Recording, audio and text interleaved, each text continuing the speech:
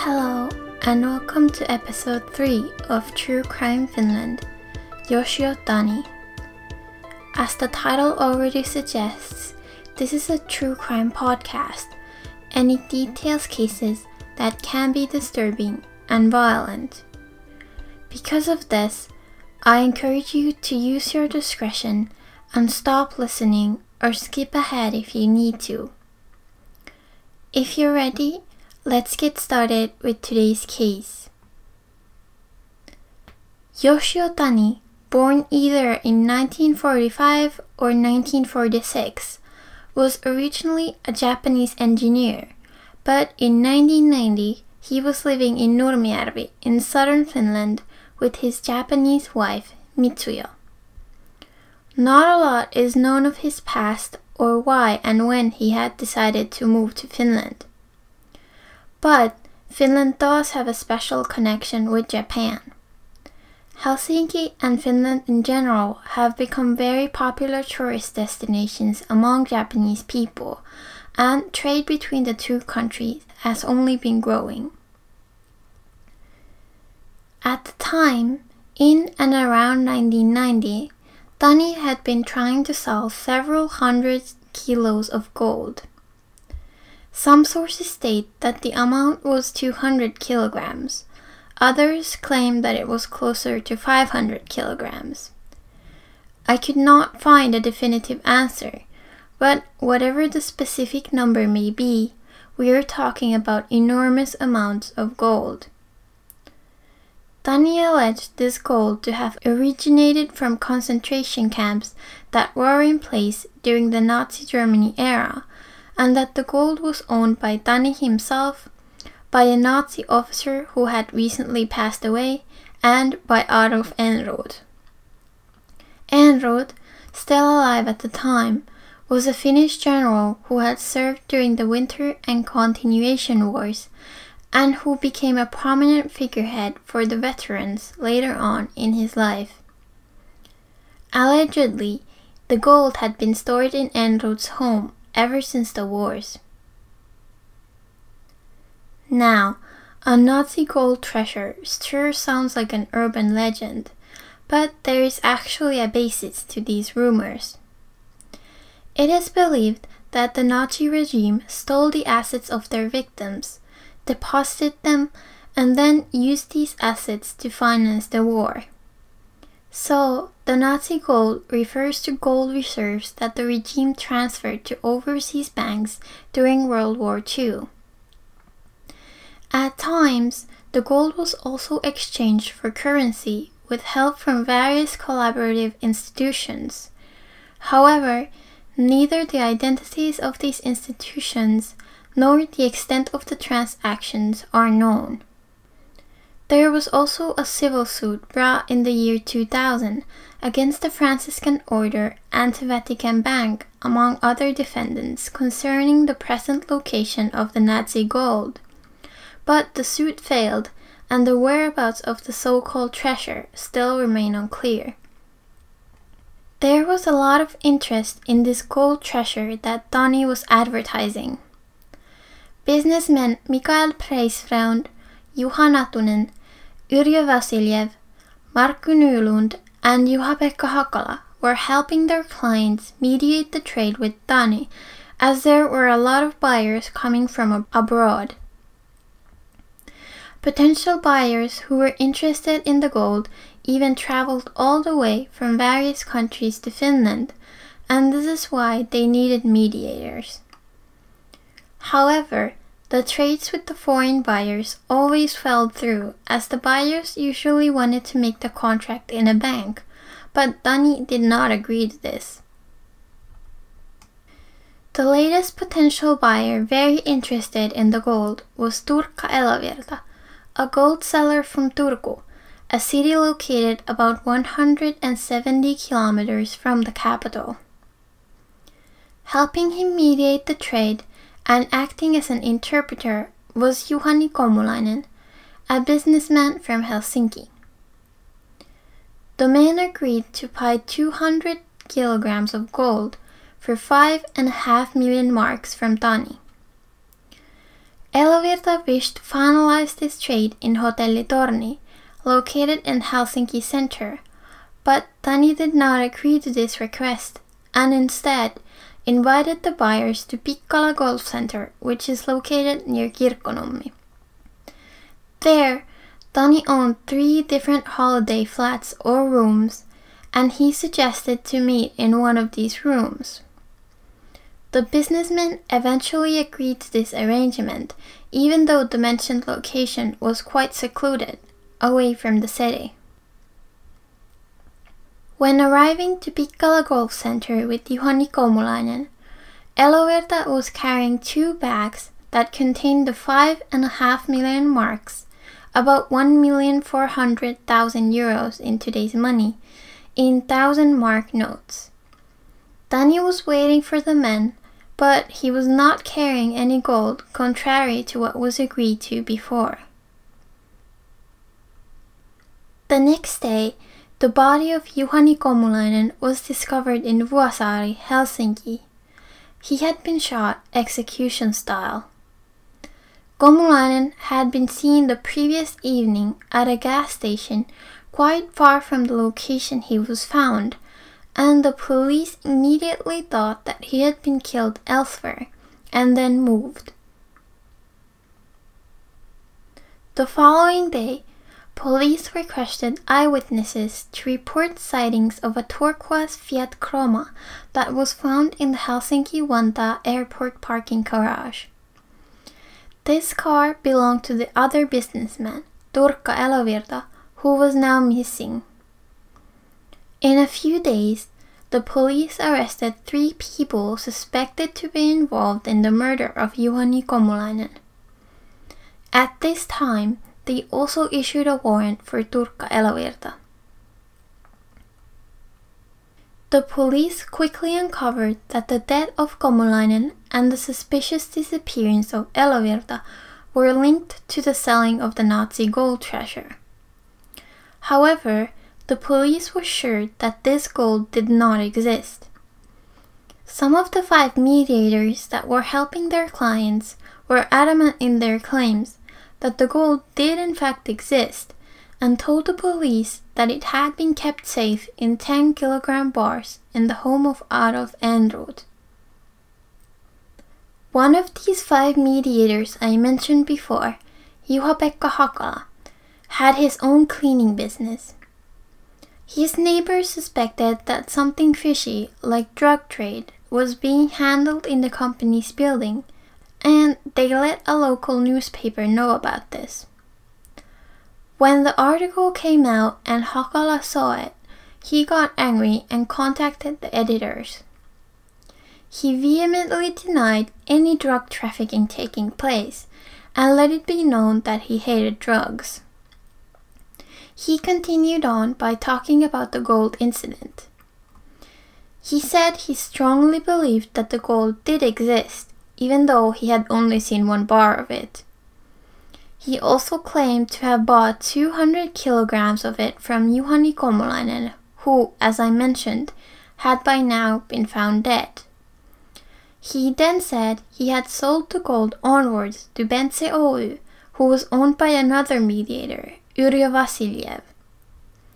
Bense Oy was then supposed to sell this gold once more to Elovirta, who also owned his own business but who was now missing.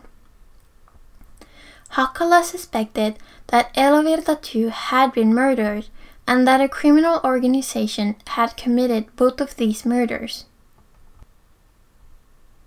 About a week onwards, the body of Turkka Elovirta was discovered in a gravel pit in Hyvinkää, about 60 kilometers from Helsinki.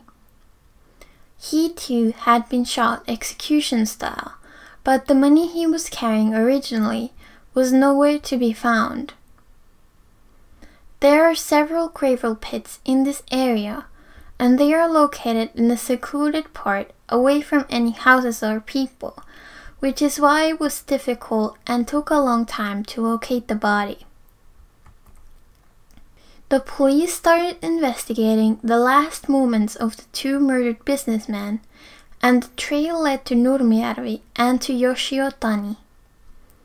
After the murder incident, Tani had flown to Tokyo and then back to Finland, making one stop in Zurich, Switzerland, on his way back. In his home, the police recovered half of the 5 million marks that had disappeared, a pistol, and five 7.65 caliber shells. Tani was quickly arrested and jailed suspected of committing the two murders. His wife, Mitsuyo, was also arrested suspected of helping Tani conceal the bodies and the stolen money. Tani himself strongly claimed he was innocent. According to him, the murders were actually committed by a German man in his 30s or 40s named Hans, whose driver Tani claimed to be. Tani stated that this Hans murdered the gold sellers and then demanded Tani to get rid of the bodies, clean up the murder scene at Pikkala Golf Center, and then bring a part of the stolen money to Germany. In his own words, this is why Danny traveled from Japan to Zurich. He explained that once there, he exchanged the money into francs and took them to Hans in Frankfurt. The case went to trial in Kirkkonummi Crown Court, now called District Court, and Tani held on to his claim of being innocent and stuck to the story he had previously told the police about Hans. His wife also denied the accusations, saying that she was only helping his husband as he had told her to. According to Tani, in Japan, the wife does what her husband tells her to do. A psychiatric evaluation was performed on Tani, but as he had objected to one being performed, it was only determined that Tani was not mentally ill. The senior medical officer for Helsinki County Prison performed this superficial examination, and in his statement to the court, he advised against a full psychiatric evaluation, as Tani had been against one. A report was requested from Swiss authorities to find out if Tani had any accounts in Swiss banks, as the other half of the money was still missing. According to the prosecutor, Lauri Lausmaa, finding the possible accounts would have sealed Tani's fate and proved for certain that Tani was guilty of committing the two murders. The prosecutor also stated that according to his belief, there was never any gold and that the sole purpose of the murders was to steal the 5 million marks Elovirta had on him when meeting Tani. The motive for killing Komulainen was to not leave any witnesses and to make sure that Komulainen would not request a share of the money for himself later on. In the prosecutor's understanding, Tani had first shot Komulainen in the neck and then Elovirta by shooting him first on his side and then in his neck. The body of Komulainen was then transported from Kirkkonummi to Vuosaari in Helsinki the very same day in the trunk of a car. The body of Elovirta was dragged in a ski box from the holiday room at the golf center to a van and taken to Hyvinkää the next day. A key witness in the case was one of the mediators, Mikael Preisfreund. According to him, the whole trade was a big scam, fabricated to lure someone gullible to a secluded place carrying a large amount of money. He also stated that the gold never existed to begin with. He was previously negotiating the trade with Tani, acting as a middleman for his English client. The first time Preisfreund ever heard of the gold was from a driver working for an embassy who had asked him to find a buyer for the gold. The price was 15% below the world market price for gold at the time. Preisfreund was told that the gold belonged to an elderly man who was well known yet shunned away from any publicity. Because of this, the trade was negotiated in small pubs, and the actual exchange of the goods was meant to go on in some secluded place, like at a summer cottage or in a detached house located outside of the city. Eventually, Preisfreund had started to become suspicious of the trade, as the whole thing reminded him of a bad T class American movie. His words, not mine. Preisfreund himself would have wanted to take care of the trade in a large bank in Helsinki, but according to him, Tani stuck to his request of handling the whole thing away from publicity.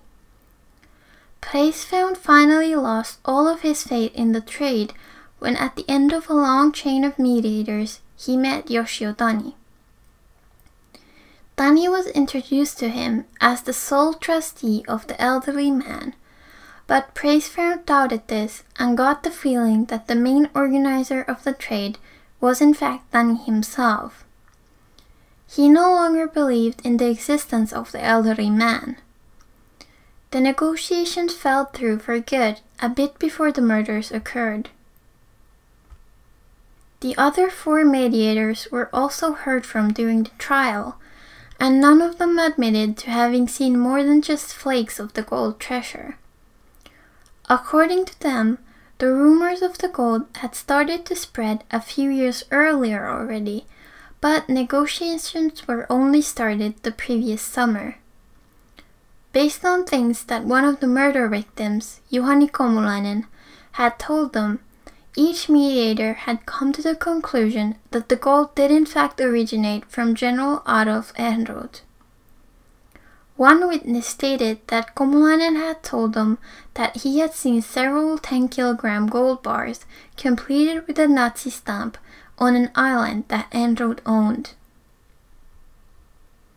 The prosecutor Lauri Lausmaa held on to his original theory and stated that General Ehrnrooth's name was taken advantage of in order to give the so-called trade more influence. Yoshio Tani was conveniently left behind the curtains by creating an image of him being the general's right-hand man. Despite this, Lausmaa did not find it necessary to bring the elderly general to the witness box, as at the time he was already 95 years old. However, Ehrnrooth did give the NBI, the National Bureau of Investigation, a statement as his name had popped up multiple times during the trial. When the story became public later on, Ehrnrooth stated it to be complete humbug. As I mentioned earlier, Tani had flown to Japan after the murders, more specifically on the 23rd of April. A representative from the Finnish National Bank was heard from during the trial and they stated that on the 24th of April, 2.5 million Finnish marks were tried to be exchanged into yen in several Tokyo banks. This money was in thousand mark notes, and it was not exchanged. Also, during his time in Japan, Tani paid 100,000 marks, about 25,000 euros in today's money, as a down payment for two rally cars. According to Tani, this money was his own, however. Tani held on to his story about the German man called Hans, and his defense lawyer, Matti Nurmela, found this story to be extremely plausible. To prove this story to the court, he aimed to show that the gold did in fact exist. One witness did say that Komulainen had shown him multiple flakes of the gold and that he thought them to be drilled from a large object, as they were only 4 to 5 centimeters long. Nurmela also paid attention to the fact that grown men were negotiating a gold trade over several months. If this gold never even existed, how come the negotiations went on for so long? The murder weapon was never found, According to the autopsies of Komulainen and Elovirta, they were murdered with the same 7.65 caliber gun that most likely had a silencer. As I mentioned previously, five shells were found in Tani's home. Tests performed on them show that these shells probably came from the gun that was used, but Tani has not given any explanation as to why the shells were found in his home. The story about the German man Hans was never able to be proven, but the court found that there was sufficient evidence in order to sentence Tani to life in prison for two murders and a robbery.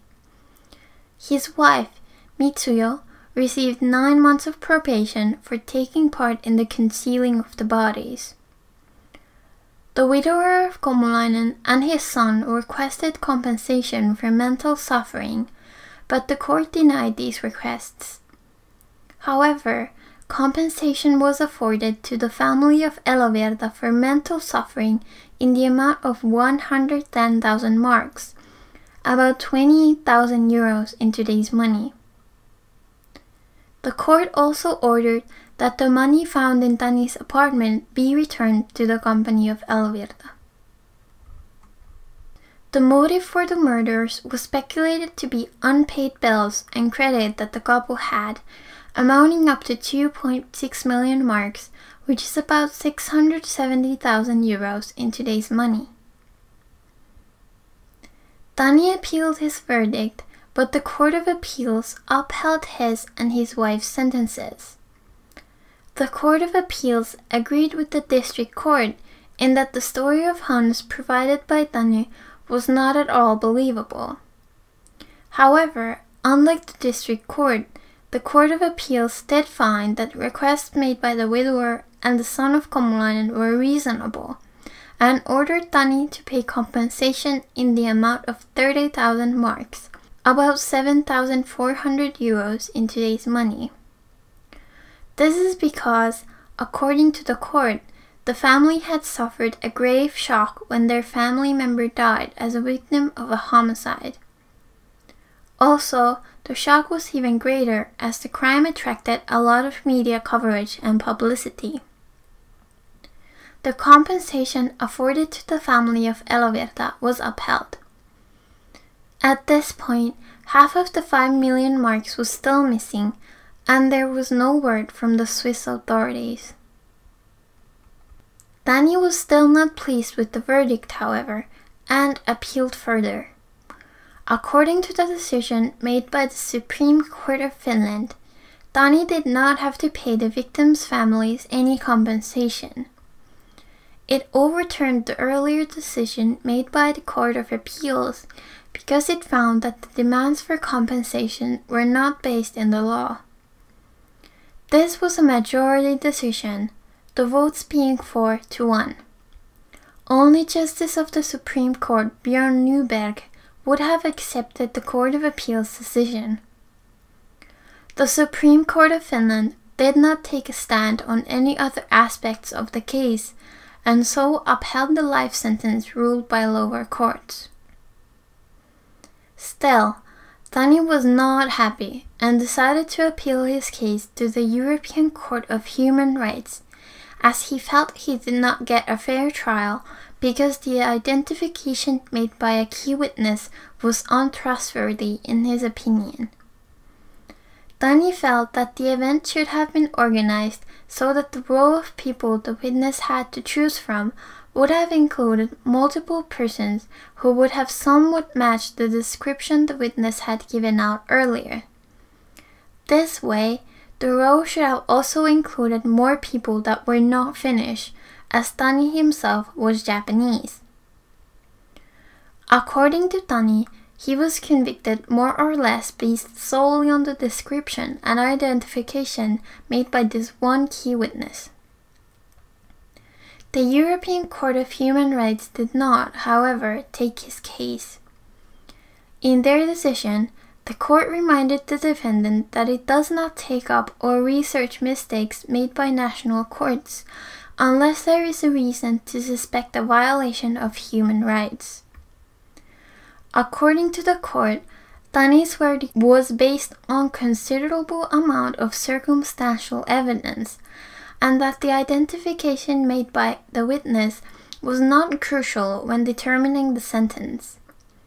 Because of this, there was no reason to question the National Court's decision.